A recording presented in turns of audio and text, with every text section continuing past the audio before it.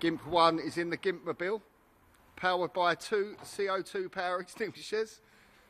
When Lee turns the stop ball to go, the GIMP is going to fly at approximately 30 mile an hour out the yard and hopefully not kill himself.